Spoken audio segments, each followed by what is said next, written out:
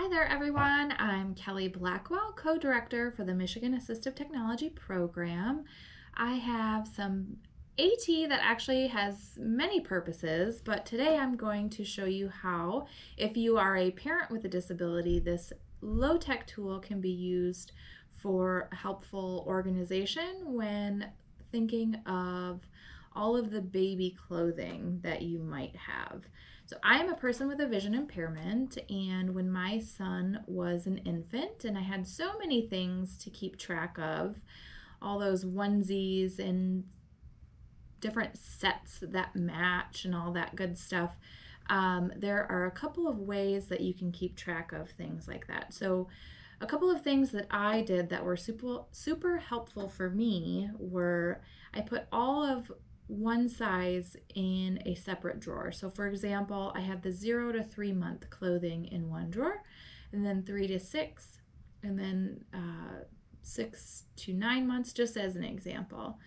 Another thing that you can do so, we have available for demonstration uh, so that you can give it a try are these color mates, and they're really simple yet really effective in helping to organize and match things up.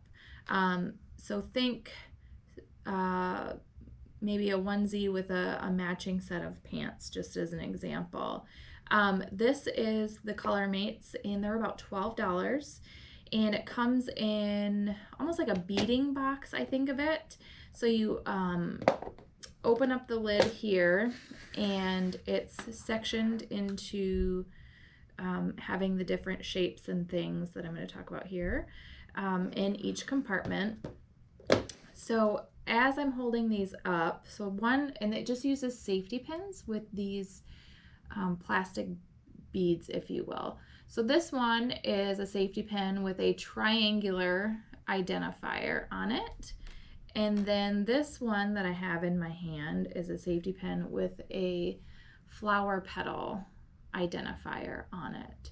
So not only does this help to safety pin the matching set together, then maybe I have created a system that for me who cannot see uh, colors, that maybe the flower petal identifier is for all of the green clothing, just as an example, and maybe all the triangular identifiers that are safety pinned are for the yellow clothing.